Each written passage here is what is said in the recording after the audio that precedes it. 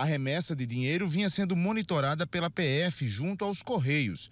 O rastreamento teve início no estado do Goiás, de onde aconteceu a postagem com o destinatário no bairro da Iputinga, no Recife.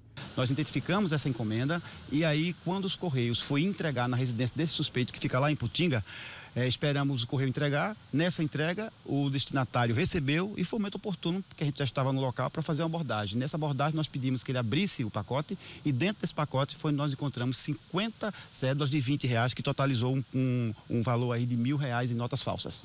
De acordo com a polícia, o perfil do jovem chamou a atenção da investigação. certeza os familiares estavam aqui, estavam realmente muito chocados, porque nunca imaginava que ele pudesse é, fazer esse tipo de conduta criminosa. Mesmo porque, se você adquire notas falsas, as penas para esse tipo de crime são muito pesadas. Podem chegar até 12 anos de reclusão.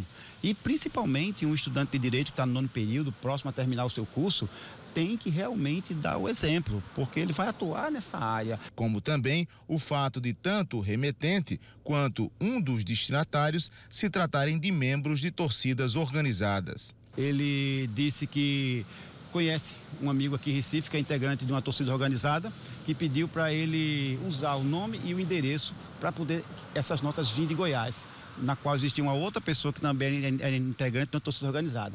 E pagou 100 reais para ter 500 reais de nota falsa para ele e mais 100 reais o amigo pagou para que ele também pudesse ter esses 500 reais em notas falsas de vida.